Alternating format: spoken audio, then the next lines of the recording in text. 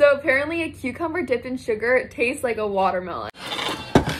Hi guys, so apparently that video was trending and I wanted to try this myself. So I have my cucumber and I have my sugar. I'll have to pour it in also. So I have my spoonful of sugar and my cucumber and I'll just pour it on here and I'll have a bite.